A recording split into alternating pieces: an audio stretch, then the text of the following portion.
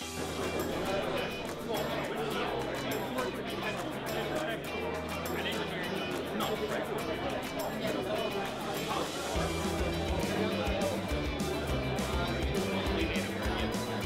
have it set to about 20 centimeters to demonstrate with the yellow light here.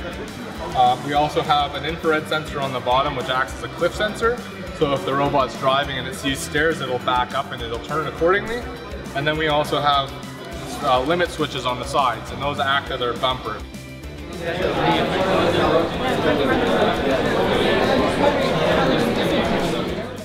So Shoestring, it's a budgeting application.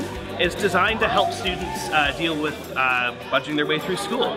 Uh, they, there was a study that was conducted at one of the universities and they found that when the OSAP rules changed, about 30, there was a 30% increase in the amount of students who dropped out. When those students were interviewed, they found that it was because they just simply didn't have enough money.